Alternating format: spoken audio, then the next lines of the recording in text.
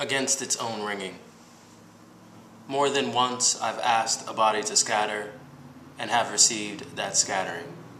More than once a scar, more than once a scarecrow watching the corn of another's body sing and break beneath my marble eyes, my exhausted feet. More than once I've been a bell broken against its own ringing, a kind of meadow unified by the barest imagination broken.